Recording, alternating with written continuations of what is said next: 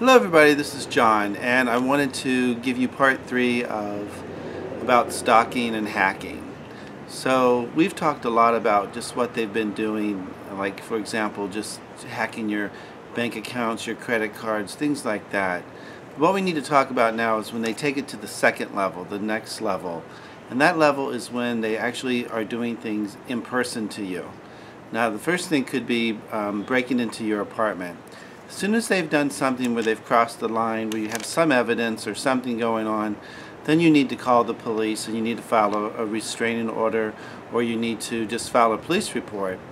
And the benefit of filing a, a, police report is it does def definitely start a, a, record, a legal record of what you feel suspicions are, especially when you know who the person is, but you can't prove it. At least let the police come, dust for fingerprints, see what they can find out. Now the second thing is filing a restraining order. Now chances are you're not going to get it because you don't have enough evidence. That's okay. When you file a police, uh, when you file a restraining order, that becomes public record. So again, you have a record, a legal record that you have concerns about this individual so that if it does get escalated and you have a little bit more evidence, um, you will get that restraining order and then the police will get involved and then it'll be a legal issue where hopefully they get arrested or at least get investigated. That's what you want to do. And um, but now, let's say they do um, start harassing you in person. Now, this person probably won't do it themselves because they're a coward. Uh, they like to hide behind a computer and be a bully and do different things like that. And they use their friends to do the dirty work. So, for example, let's say you're leaving your home or your apartment building and someone jumps out in front of you and kind of won't let you out or you come back and they won't let you back in the building or your home definitely call the police. Always call the police when it's something in person. Now another thing could be you could be walking down a street and you can tell someone's following you in a car.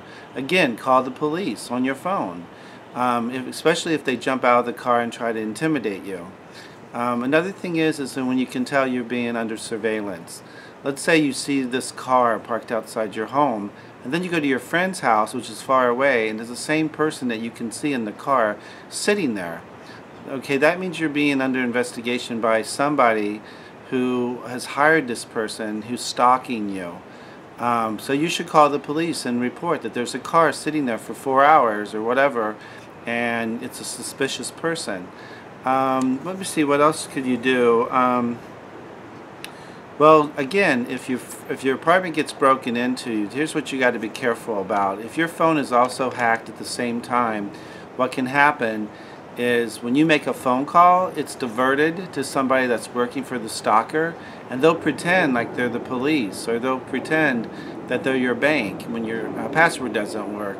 They'll even know how much money you have in the bank because they've already hacked it. So that's their way of letting you know that they see your account. But the truth is, they won't know your call-in passcode. Never give that out, even if they ask you if you can, if you're suspicious that it might not be the real person. But that's what happens when your phone is being hacked. Every call you make will be diverted to someone that they work for. Now this is where it gets tricky is that if your apartment's been broken into or your home and you want to change your locks and you think your phone's being hacked, do not use your phone go to someone else's phone, a neighbor or a friend. Uh, friends are kind of um, risky because they could be also hacking their phone too. But someone that's not related at all to you, friend or family, use their phone. Even a hotel might let you use their phone. And try to find a locksmith that's legitimate or at least get a referral from somebody. Um, make sure it's a good lock, like I mentioned, I believe, in part one. This is part three of my stalking series but I believe I mentioned it before. Don't just put any lock on there. It can be picked. You got to get a lock that is special made. It's where you register the keys. Um, you'll, no one can make a copy of the key without showing identification, proving it's you, and then you'll get a key. But those locks are expensive. Um, with installation, it could cost you up to $300, but it's well worth it. And also, uh, with that lock, uh, it's impossible to pick it. They would have to knock your door down to get in. Uh, again, there's nothing you can do if they break your glass and your window. But again, even if they do that, um, that's going to be evidence, and they don't like evidence because then the police will get involved and they'll be under investigation. Here's the biggest thing I want to say to, to you. If you know who's doing it, tell everybody under the sun. Tell, go on Facebook and mention their name. Do anything you can to expose them. Now you'll think, well, maybe they can sue me. Maybe they'll sue me for um, harassment or ba bashing their name or slander, or maybe they'll file a restraining order on me. No, they won't. You're the last person they want to see in court. You're the last person they want to have to deal with in person.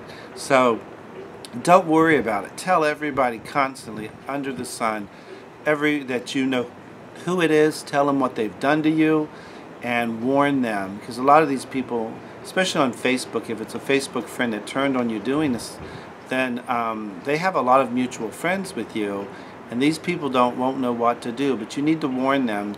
The nice thing about warning them is all of a sudden you'll get personal messages and say you know even without you telling me who it was I figured it out. They did the same thing similar to me. They even stalked my friends. So you're not alone. Always tell everybody even if they think some of the things you say are far-fetched and you know, maybe paranoia and, you know, they question you, whether it happened or not, tell them anyways because you know it happened and eventually you will be vindicated and you will get justice because people like that who have the big ego and hot-headed, they make mistakes and eventually they will get caught.